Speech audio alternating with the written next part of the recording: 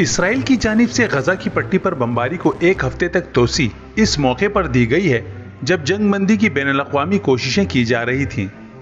Video आगे देखने से पहले चैनल को सब्सक्राइब करें और बेल आइकन पर क्लिक करें।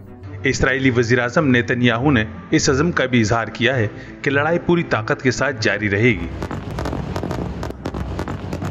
इसराइल ने फजाई बमबारी में हमास के नौ कमांडरों के घर भी तबाह करने का दावा किया है। हमास के जेर कंट्रोल बहरे रूम के शिमाली किनारे पर वाक़ गुंजान आबाद शहरी मरकज गजा पर फजाई बमबारी का आगाज़ सुबह सवेरे से हुआ।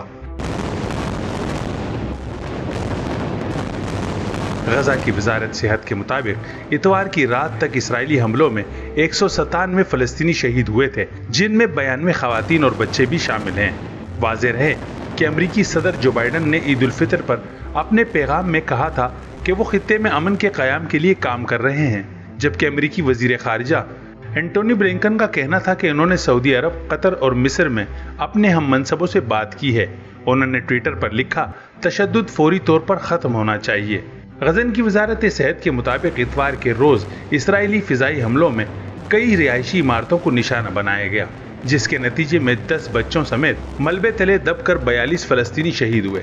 इसराइल डिफेंस फोर्स की जानब से अमवात को गैर इरादी करार देते हुए कहा गया कि हमलों का मकसद हमास के जेर ज़मीन नेटवर्क को निशाना बनाना था।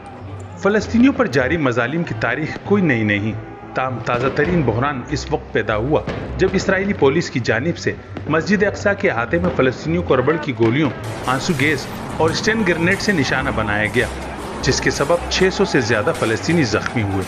इसराइल की जानब से मजलूम निहत्ते फ़लस्तियों पर जारी मजालिम और अमरीका समेत दीगर अकवा आलम के दोहरे मैार पर आप क्या राय रखते हैं? कमेंट सेक्शन में इसका इजहार ज़रूर कीजिए और चैनल को सब्सक्राइब करें ताकि इस हवाले से मजीद अपडेट आप तक बर वक्त पहुँच सके।